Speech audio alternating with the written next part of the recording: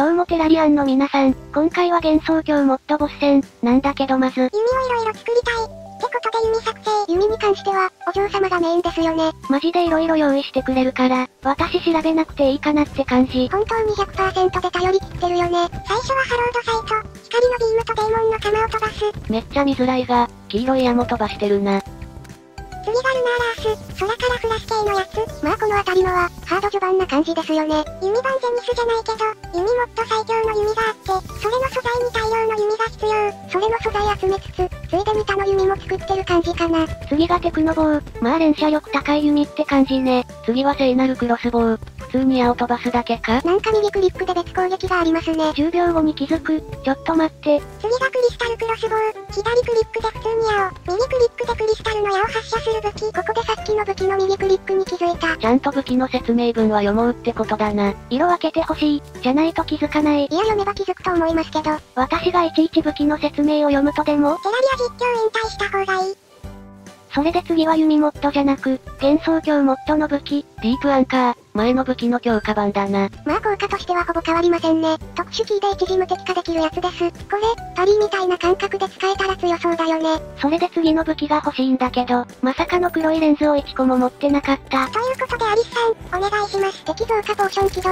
私が使ってる敵増加するやつより、アリスが使ってるやつの方がなぜか効き目がいいって思って改めて確認してみたんだが、そもそもアリス、別のやつ使ってたわ。私が持ってるのより1個上の効果のやつ。あれまた私何かやっちゃいました？参加世界、セサリー、うっ頭が。ちなみにその事実が明らかになるのは次回。まあそりゃこんな AV 用的枠よね。もはや私の PC だと、処理落ちして重くなる。最近私と、レミリア、アリスが PC 変えたからね。私たちは上で待ってるわよ。マイクラシリーズ中に変えるべきだったのではそういえばこの3人、新ゲリラメンバーだしね。まあさすがにこれだけいれば、黒のレンズも手に入った。そしたら昼に戻して、新しい武器だけ作成しようか。そしてこのタイミングで来る日食。安定と信頼の邪魔なタイミングね。いや待って、今はタイミングいい。モスロンから落ちる弓が必要だから、それ集めたい。また私のポーション使おうか。さすがに日食であれは死ぬからやめて。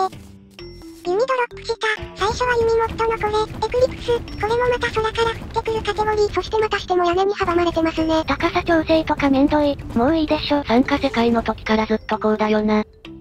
それで次が黒いレンズ使う魔法。暗いハッケロ、とかそんな感じか？ミニハッケロの強化版、黒い壁反射する星を出して、そして特殊攻撃キー、カラミティにもこんな魔法あったな。陽気ダークスパーク、すべてを無にキス。それムーンロードの目に打ちたいわね。管理犯罪者メーカー。ツイッターの診断みたいな名前ですね。ダークスパークから一気にダサくなりすぎでしょ。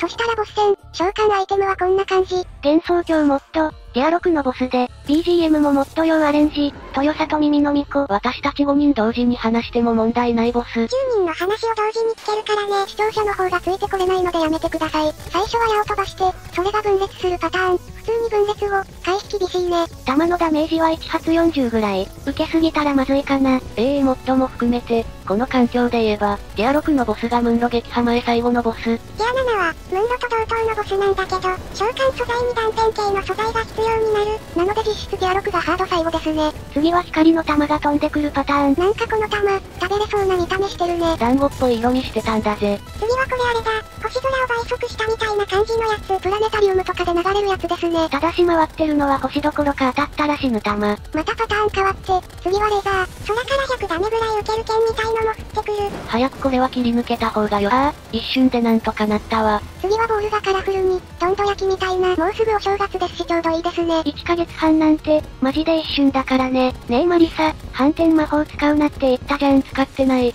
これも敵のパターン。狼少年みたいな感じになってる。無事撃破、結局ノーカットだったね。まあ一応動画最後にノー編集版はある。それで、ドロップ品が1回じゃ集まらなかったから再戦。5個開けて、3つが揃わないんですね。まあそれがこのチャンネルの醍醐味だから。物欲センサーとバグがメインのチャンネル。別にそれを売りにしてるわけじゃないから。まあ2戦目だし、時止めなりなんなりでサクサク倒そうか。やばい時止めたタイミング悪いかも。敵の弾も止まっちゃってますねこれ。地味に回避が厳しくなったなこれ。時止め、敵の弾が止まるとはいえ、当たったら死ぬのは変わりないからね。それでドロップ品、最初は皇太子の杖、この見た目でこれ近接武器っていうカテゴリーとしては剣みたいな感じだぜ。剣には見えないんだけど、特殊攻撃機で空から攻撃を振らせることもできる。茨のゆりかごが体を刺す。それは別の皇太子ですね。それで次のドロップ品がちょっと特殊で、幻想郷モッド版開発者武器、ギア6以上のボスから一定確率で落ちるらしくて、ナノテクインク、結構高レートで攻撃できる上で、特殊攻撃使うと画面が一瞬暗くなる。これ私たちにも影響あるっていうね。ボス戦とかで急に使ったらやばいですね。急に画面真っ暗になるからね。次はセブンスターソード。セブンスターソードセブンスターの浮遊剣で攻撃する武器、壁も敵も貫通するビームを飛ばすことができて、特殊攻撃はビームを全方位に発射できます。これも急に出てきたらビビるタイプのやつね。画面外から急に謎の光線飛んでくるからね。最後はロイヤルケープ、アクセサリーで、上移動のキーを2回連続で押すと、カーソルの場所にテレポートできるアクセだぜ。ちなみにクールダウンは普通に8秒ある Rod of Discord でいいですね。というかそろそろ Rod of Discord 作らないと、ハード入ってから、ずっと作ってないよな。それでギア6ボスを倒したことで、リンノスケから新しい武器とかを買える。グングニルとかも売ってる、色々あるっぽいな。まあとりあえずまとめて買って、それから紹介だね。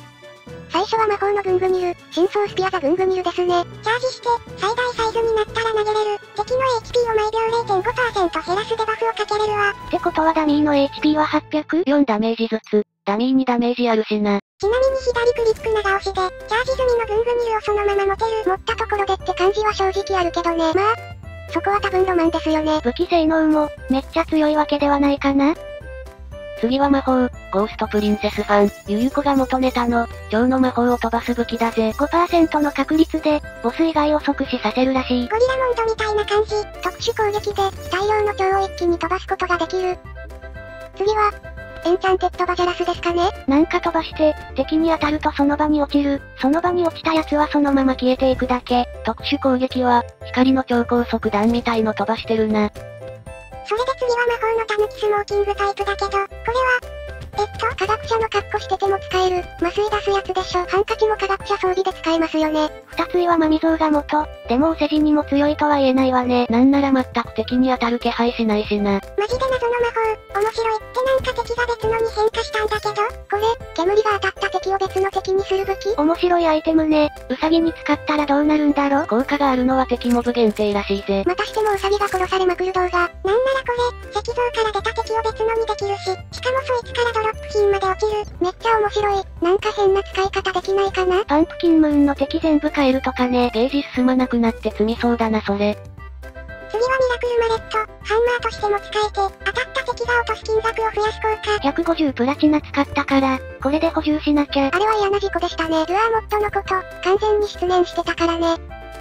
次は剣のシャイニングニードルソード、槍カテゴリーだな。ソードって言ってるのにこれ槍なのね。ソードというのは名前だけみたいですね。特殊攻撃は、なんか変なの飛ばしたけど、これで敵を近くに引き寄せれるっぽい。面白い機能、ではあるんだけど、あんまり使い道が思いつかないねこれ。なんかうまく使えたら楽しそうなんだがな。あと弾速が遅めだから、遠くの敵をうまく引き寄せるのは難しそうね。クールダウンもありますしねこれ。ダメだマジで全然当てられないんだけど、真下に来たタイミング、今がちゃんどうやって今拠点の中入っていったまあジア6倒して、手に入ったのはこんな感じだな。そしたら今回はこの辺りで終わりにしようかな。次回、もう片方のギア6ボス戦かな。ハードモード編ももう終盤な感じですね。それではご視聴ありがとうございました。